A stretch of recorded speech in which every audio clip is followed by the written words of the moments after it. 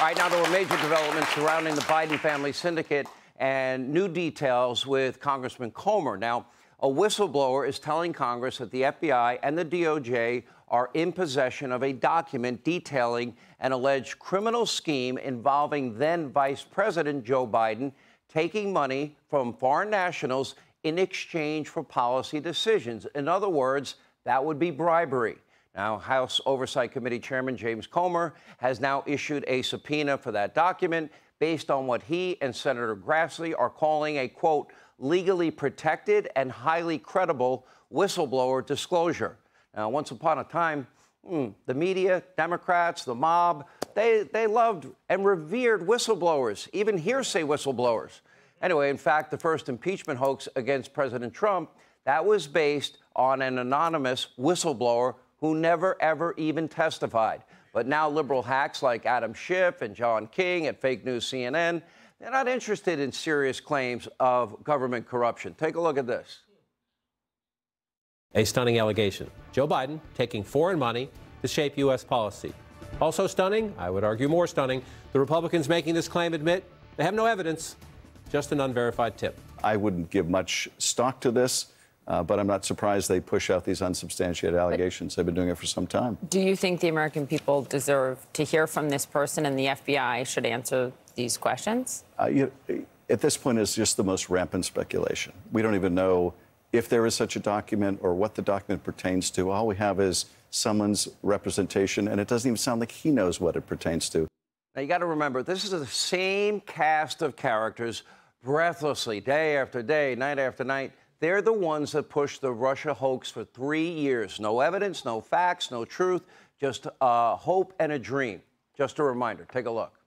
The question has shifted uh, from whether the president is working with the Russians to what evidence exists uh, that the president is not working uh, with the Russians. Because we are looking at the possibility that the President of the United States and those around him during an election campaign colluded with a hostile foreign power to undermine the basis of our democracy. Donald Trump is afraid. A political hurricane is out there at sea for him. We'll call it Hurricane Vladimir, if you will, the whole Russian thing. This is evidence of willingness to commit collusion.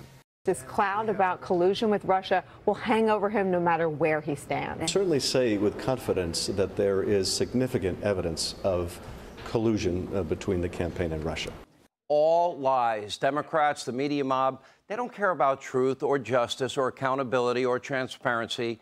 They just want to win elections at all costs, consolidate power against the American people. But now, more than ever, checks and balances are critically, vitally important. Joe Biden is a corrupt, dishonest, greedy career politician who is not to be trusted.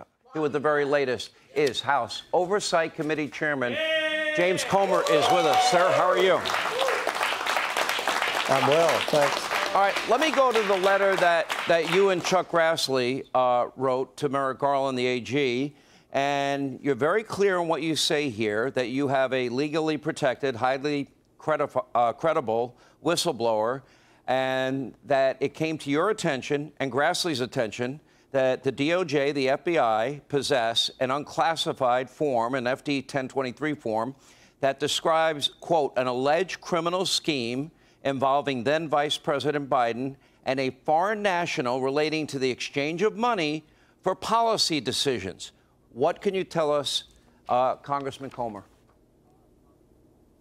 Well, Senator Grassley and I have both reviewed that disclosure. Uh, we find it very credible. Uh, we're very concerned we have a lot of questions as to whether or not the FBI even looked into this. Uh, we know from your previous reporting that you've already stated on the show uh, that they turned a blind eye to anything pertaining to Joe Biden, and they just assume the worst when they uh, look into anything that pertains to former President Trump. So we're very concerned about this, and I'll tell you why, Sean, because as you know, I possess bank records from the Biden family now, and there's a consistent pattern of the Bidens using LLCs to receive payments from uh, our adversaries around the world, including the Chinese Communist Party and many other countries, that go into various LLCs and then they transfer them around in a type of money laundering scheme and then transfer the money back to different Biden family members. We've identified nine Biden family members that have received these type of payments from uh, adversarial countries around the world. Now, the question is, what are they doing to receive these payments? Then we get this very credible whistleblower come forward. Uh, and we have, again, reviewed this specific uh, disclosure. So now we're requesting that disclosure from the FBI, and we want to know exactly what they've done to verify uh, whether or not this uh, this uh, you, you, allegation is true. Congressman, you said twice you viewed uh, this disclosure. I want to ask you about that. Um, have you seen this this document, this evidence that the FBI and the DOJ have? Uh, are you sure they have not destroyed it? I think it would be very difficult to destroy. Uh, it's my understanding that it is uh, submitted within their database, and it's very difficult to uh, take that out and destroy it because have I had that same question. Have you ever heard of BleachBit? Now, yeah, well, we've. Uh, you know, we, we're seeing it all with respect to the FBI, unfortunately. But we're very confident that uh, this does exist. Uh, we're very confident in the whistleblower. And look, this fits a pattern of behavior that the Bidens have done because we've we've already identified millions of dollars into nine different Biden family members, and we don't have any idea what they did to receive that money. There are no businesses. That's what the Biden attorneys and their friends in the media have said. Well, these were legitimate investments into different Biden business interests. There are no business interests, Sean. The business was the Bidens creating different LLCs trying to hide who the source of the transfer was and then deceive the IRS and then goes back into the Bidens' back pockets. So, what did they do to receive this money? And again, we take our whistleblowers very seriously. As you know, there have been two very credible whistleblowers come forward in the last two weeks.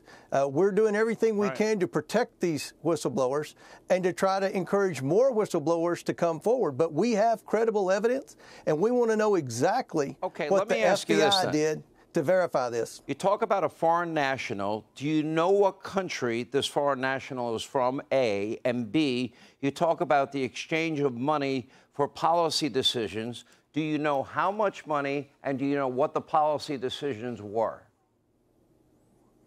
I know the country and I know the policy decision, but I'm not at liberty to say right now. Again, I'll, we're waiting I'll, I'll for the FBI if, if to comply with our subpoena. I'm, I'm teasing. you'll be the first to know, no, Sean. Uh, no, to be honest, Congressman, you're talking about a vice president being bribed, and he's now the president of the of the, this country. You know, a balloon flies over our country and nothing happens. Uh, a drone is taken out of the sky and nothing happens. Uh, is it because uh, the president is compromised? I worry about that. Am I wrong to worry about that? No, you're exactly right. That's why we're investigating Joe Biden. The media wants to talk about Hunter Biden. Look, we've already disclosed that there are nine Biden family members. It isn't just about the president's son. It isn't just about the president's brother. It's about the president's entire family. But let's be real. I mean, does anyone believe that they're getting this money just as coincidence? I mean, there are countless transactions from, from many countries, countries that no one else would ever do business with. Even some of the biggest companies in America that, are, that have a huge international footprint don't even do business in some of these countries. What are they doing to receive this money? This fits a pattern with everything that our whistleblower, our very credible whistleblower, has alleged that Joe wow. Biden did when he was vice president. That's why we want to know what the FBI has done to verify this claim. We know they have the claim. We want to know what please, they've done to verify the please claim. Please do not let them destroy the evidence. Yes. Chairman Comer, thank you. We appreciate it. Hey, Sean Hannity here. Hey, click here to subscribe to Fox News YouTube page and catch our hottest interviews and most compelling analysis. You will not get it anywhere else.